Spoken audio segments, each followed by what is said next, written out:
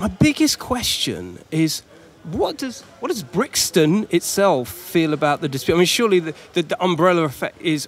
Well, hold on, we are Brixton. Do you know what I mean? Well, you got to remember Brixton and anywhere Hackney, um, you know, White City, Ladbroke Grove. They're, they're they're not a name. Yeah, they're they're a they're a, a feeling. Yeah, that's You right. I'm saying? you can't And, copyright that. You know, and the feeling is what we've got. Ain't the feeling other people ever have. Right. I'm, I've never once disrespected anyone that uses that name for any sort of um, product they're trying to use. Yeah. Like, and I've always understood that this, this is a lot of um, bigger businesses and corporate stuff Mm. that works within it. So I'm very respectful of understanding that this ain't personal. Mm. The problem is, is it is personal to the people that live here because it's, it's we've had to grow up in this and grow up in the culture here and grow up in the different trials and tribulations through riots, you know, through um, bombings, through everything to be Yeah. who we are. You know what I mean? So people they they will never understand what it really means to be from uh, inner city council estate. Killa Kela podcast. KillaKelaOfficial.com. Street Culture TV. Beatbox created. Killa Kela. And we're here to talk about world music and street culture. Killa Kela podcast. Wherever you are. Ladies and gentlemen, Killa Kela podcast live and direct, central London, or as central as you need to be, choose to be, could be. God forbid you want to be anywhere else. Big shout out to Sharon Carers. People been clocking from the jump. House sponsors the mighty GK Nifty Heads have a massive 100,000 play to earn NFTs to give away to the streets. Just hit the link in the description or go to gkniftyheads.com and get ready for Hoddle Wars Summer 2024. We're in a very special location the hub of Brixton, no less. Brixton Village HQ, right here, where an abundance and assortment of beautiful people from all walks of life gather to get their daily, their daily bits and bobs. And we're in the morning, it's Tuesday, of course, and uh, inside the house, or inside their house, this is, this is a place called Brixton Streetwear. Now, for a lot of you that have been on the ground operating street culture, you'll know the uh, presence of these guys and the awareness that they've built, not just in the area, but more across nationally uh, with their range of clothing and generally their sense of placement within the community. And uh, we're up against it at the moment, so we're going to come and uh, join forces right here, Killa Kela Podcast.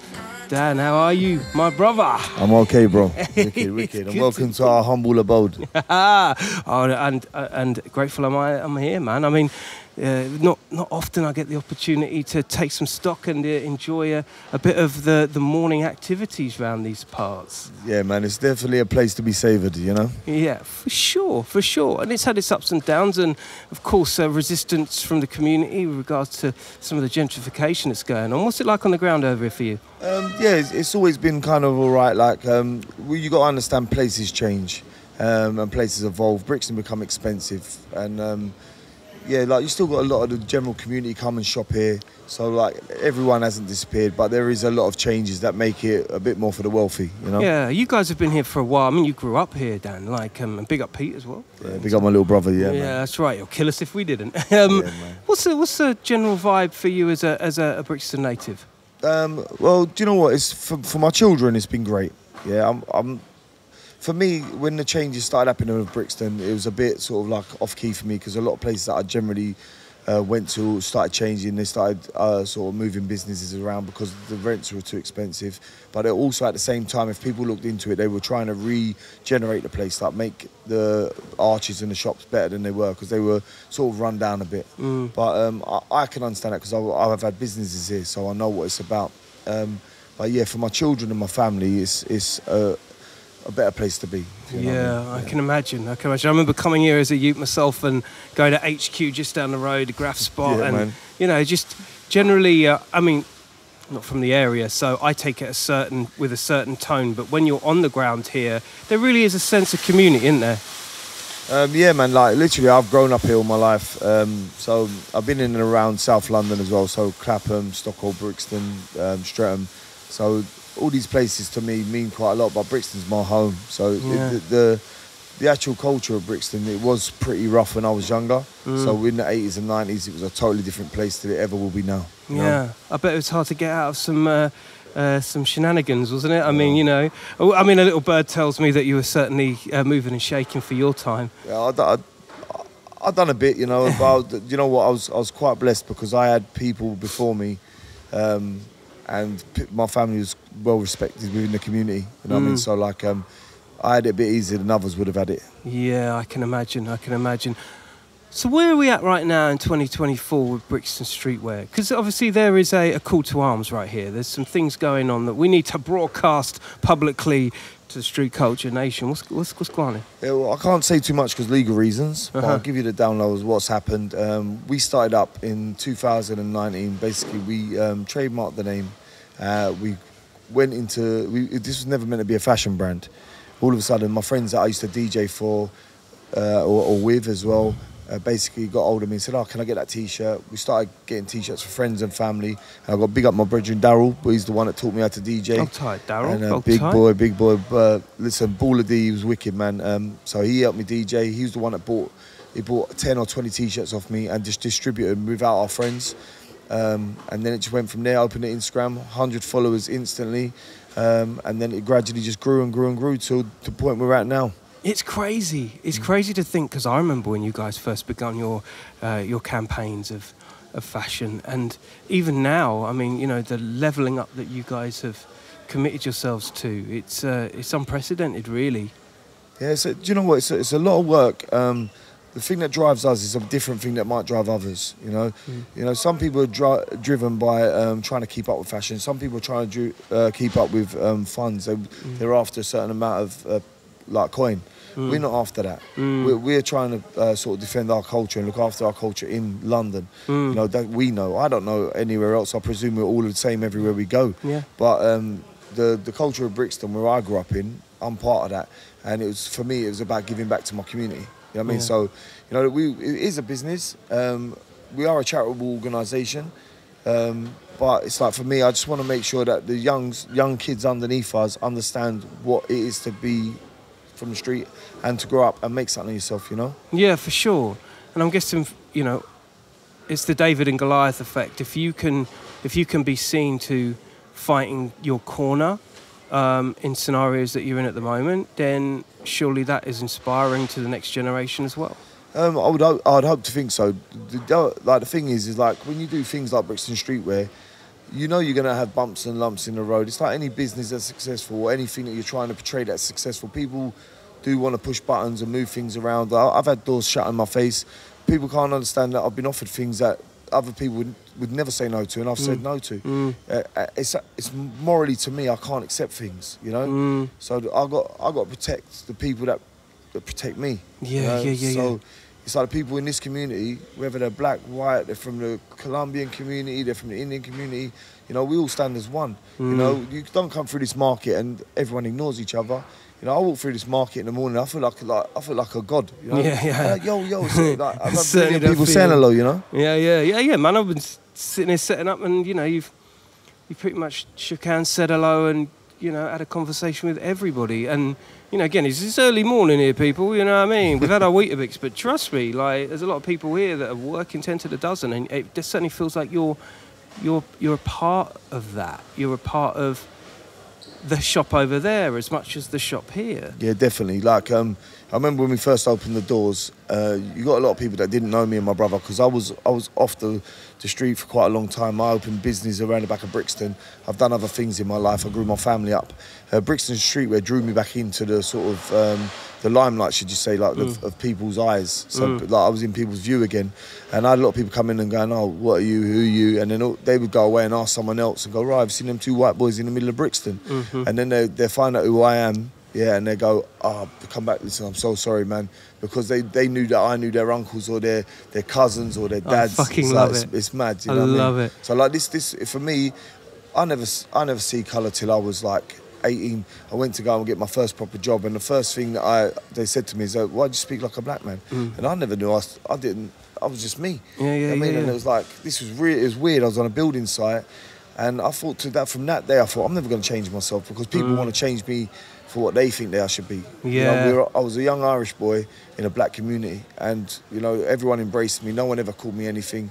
You know, I never called them anything. We were just about hip hop, uh, jungle. I Yeah. mean, that was our life. You know. I think that's uh, you know from a cultural point of view, uh, and community point of view, that's that's the stark difference between America and the UK.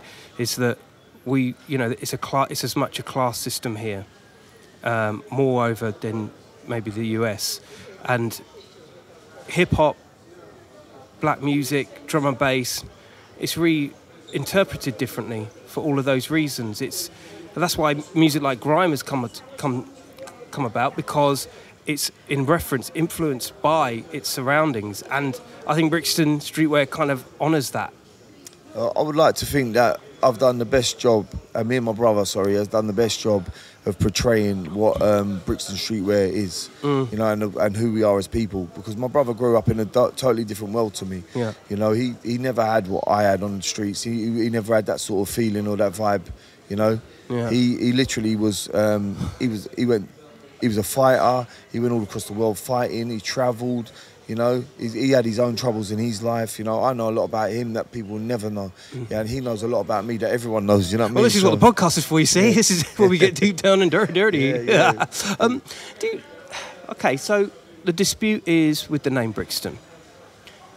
My biggest question is, what does what does Brixton itself feel about the dispute? I mean, surely the, the, the umbrella effect is.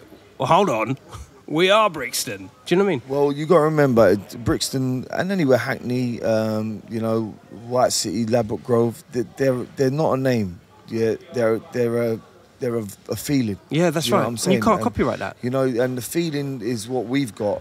Ain't the feeling other people ever have. Right. I'm, I've never once disrespected anyone that uses that name for any sort of um, product they're trying to use. Yeah. Like, and I've always understood that this, this is a lot of um, bigger businesses and corporate stuff Mm. that works within it. So I'm very respectful of understanding that this ain't personal. Mm. The problem is, is it is personal to the people that live here because it's, it's we've had to grow up in this and grow up in the culture here and grow up in the different trials and tribulations through riots, you know, through um, bombings, through everything to be Yeah. who we are. You know what I mean? So people they they will never understand what it really means to be from uh, in a city council estate. Do you know what I mean? Mm. I'm not going to say people in the states will never understand because we we've had messages from the Bronx, we've had messages from places like uh, Crown Heights, bruv. Listen, th- these, Wow. these, these places are deep, bruv. Yeah. You know what I mean?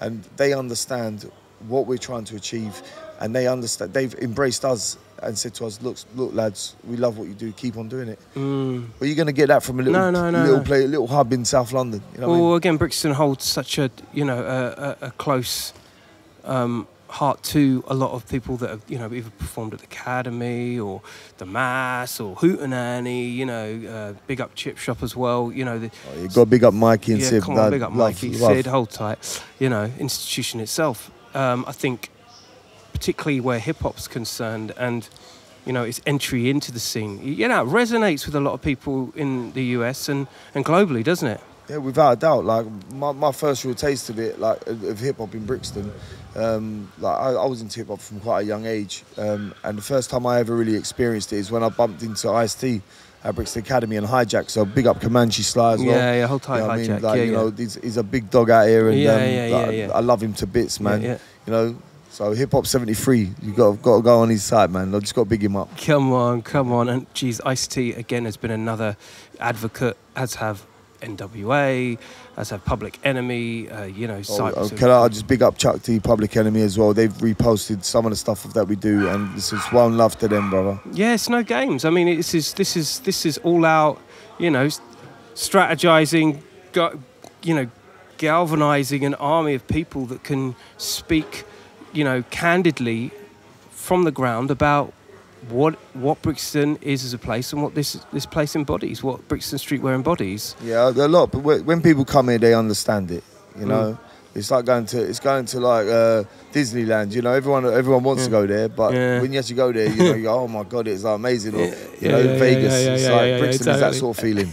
yeah, it's that, genuinely, genuinely. How are you guys? What's the feeling within the camp? What's the feeling between you and your brother at the moment? How, how's the how's the how's the temperature within the, the your, your heads? Um, yeah, we're both alright. We're both level-headed guys. You know, we understand like uh, like sometimes you're up and sometimes you're down. But you know, as I say to you, like the thing is about uh, what's going on is that we're getting a resolve. You know what I mean? Mm. We're getting some sort of communication that we can understand and we can go forward. You know what I mean? So that there in itself is is progress. You know. Yeah. Yeah, you've had an amazing campaign so far. What, what, what else you been on? I mean, nothing a shadow of Killa Kela podcast. God damn it! But well, you know, what, where else have you been uh, th- th- casting your net? Um, like we've had we've had interviews with the BBC. We've had um, inner city cab, um, so uh, taxi talks. Had them. Um, I might have got their name wrong, but big him up. Yeah. so- Um, All City. all Old Tight city, that's it. All city, go. that's it. I always get it all. Listen, man, I'm terrible at reading. I'm terrible at remembering stuff like that. Even though I'm a cab driver. hey, hey, all you need is the knowledge, bruv. Yeah, All man. Listen, that, but I big him up. He's wicked, man. He, he come and done an interview. A couple I had to turn down because obviously we're, we're moving forward, and I can't do certain things because of legal reasons. Um, but yeah, like and yours, of course, is the Come one. on, you know, BBC. Come I on. mean, so Yeah, well, it's fantastic, man. And to hear that things are moving forward and dialogue is happening, you couldn't ask for more um, in situations like this. It's so key that communication is transparent and moving, right? Well, that that's exactly it. You if, if you talk instead of jumping, you know, you you'll get some sort of results. You know, everyone will understand. When you jump before you talk, Yeah. results like this sort of happen.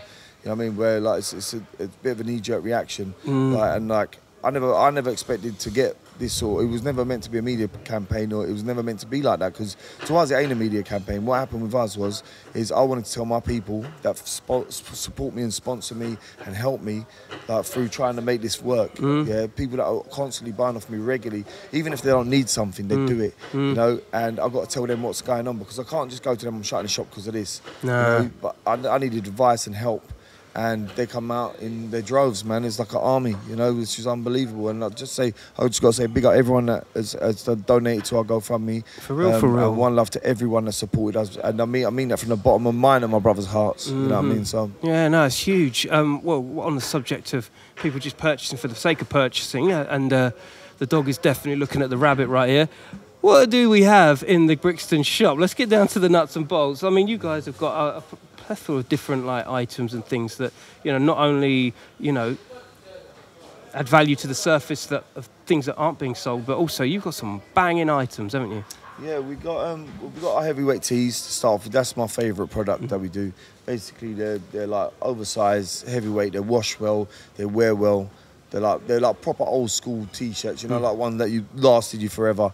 Uh, we got our baseball cap snapbacks, um, the regular sort of um, sort of headwear, buckets, just bits and pieces, lightweight t-shirts for people that don't want to don't want to walk around with heavy t-shirts. No, I'm with you. I love the heavy t-shirts. The thickness on that, banging, Yeah, bro. When you wear them, you feel good. Um, Yeah. We've had some jackets made um, in the past, which we still got some. Yeah. Um, So winter's coming, boy. yeah, Winter's we- coming, We, call, it, we call them the M25 jacket, but Yeah. they got all like Ray flies inside. But if you go on our website, you'll see exactly what we do. Really? Um, hoodies, regular stuff like that, and Yeah. then the other stuff we do is we we sort of display art for um, artists that want to put their stuff up. Providing there's only one stipulation, is that they basically promote it. I don't promote nothing for anybody except for my own brand. I don't put anyone else's clothes in here. Nah. Um, I've, I've got other uh, items in here. Like there's a guy that, or two lads from um, North London that do um, art on what shoes, skateboards, anything like that. um, Nice. skates. So collaborations, but but Yeah, all in line all with it, the. all it is yeah. is basically to give everyone a chance. You know, we Yeah. we